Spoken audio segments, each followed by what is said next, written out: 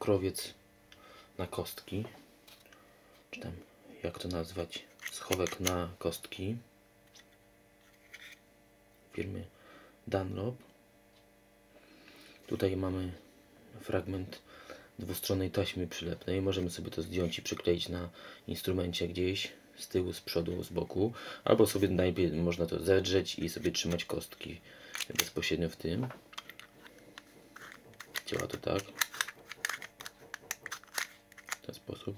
Zmieści się mm, kilka kostek w zależności od grubości. Nie chcę mówić jaka liczba, ponieważ to zależy y, właśnie od, od grubości kostek. Takich piórek zmieści się 5 lub 6. Grubość tych moich, tutaj mam, jest 1,14 mm.